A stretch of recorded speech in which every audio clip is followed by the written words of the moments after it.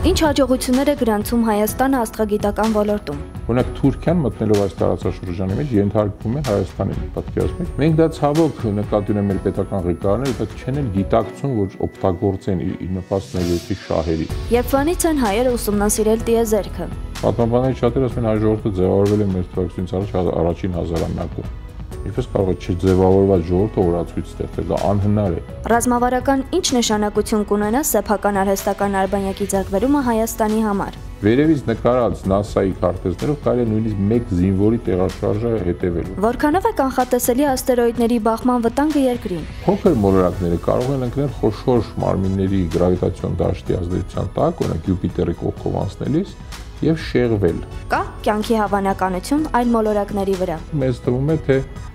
պիտի մեր նման էակներ լինեն։ Այս հարցերի պատասխանները կստանաք այսօր ժամը 21-ին TV9-ով։